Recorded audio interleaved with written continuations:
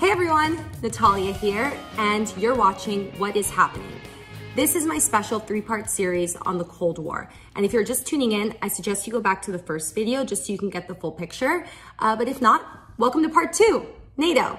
So as I mentioned before, after the Americans' surprise atomic attack on Japan, Stalin freaks out and he starts expanding the Soviet Union eastward.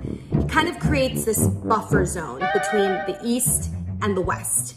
So the West responded to this by forming NATO in 1949.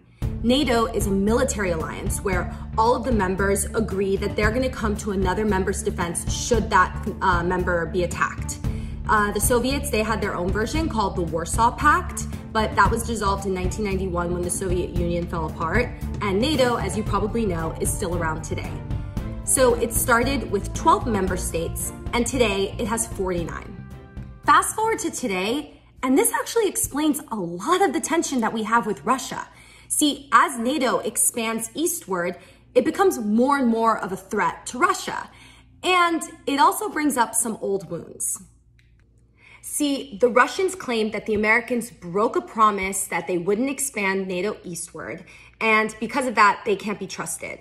Putin has used this to justify aggressive action in places like Georgia and Crimea and Ukraine. And then the Americans say that such a promise never happened. And as usual, the truth is somewhere in between. Historians have done a lot of digging on this, and they found out that yeah, the Americans did say, hey, sure, you know, we're not going to expand NATO eastward. But then at the same time, there was never any formal declaration or document or anything that they can find that was ever signed.